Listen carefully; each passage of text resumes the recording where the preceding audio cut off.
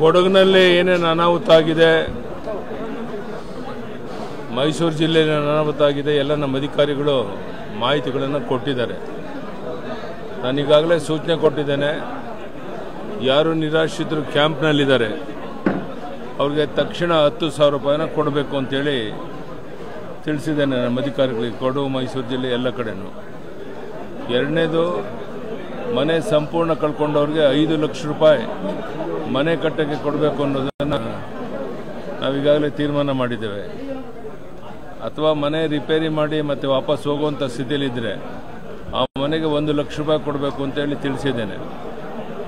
ಯಾರು ಅಲ್ಲಿ ವಾಸ ಮಾಡೋಕ್ಕಾಗೋದಿಲ್ಲ, ಇನ್ನೂ ಕೆಲವು ತಿಂಗಳು ಇರಬೇಕು ಅಂತ ಆಗುತ್ತೆ ಅಂಥವ್ರಿಗೆ ಅವ್ರು ಎಲ್ಲಿ ಬೇಕಾದ್ರೂ ಇರಲಿ, ತಿಂಗಳಿಗೆ ಐದು ಸಾವಿರ ರೂಪಾಯಿ ಅವರು ಬಾಡಿಗೆ ಕೊಡುವಂಥ ಹಣವನ್ನು ಕೊಡುವಂಥದ್ದು ತೀರ್ಮಾನ ಮಾಡಿದೆ ಹೀಗೆ ನಿರಾಶ್ರಿತರಿಗೇನು ತೊಂದರೆ ಆಗಬಾರ್ದು. ಮತ್ತು ಜಮೀನು ಬೆಳೆ ನಾಶ ಆಗಿದ್ದರೆ ಅದನ್ನೆಲ್ಲ ಸರ್ವೆ ಮಾಡಿ, ಅದು ಸರಿಯಾದಂಥ ವರದಿ ಬಂದ ಮೇಲೆ ಅದಕ್ಕೆ ಸರಿಯಾದಂಥ ಕಾಂಪನ್ಸೇಷನ್ ಕೊಡುವಂಥದ್ದು ಈಗೆಲ್ಲ ತೀರ್ಮಾನ ಮಾಡಿದೆ. ಯಾವುದೇ ಸಂತ್ರಸ್ತರು ಭಯಭೀತರಾಗುವಂಥ ಅಗತ್ಯ ಇಲ್ಲ.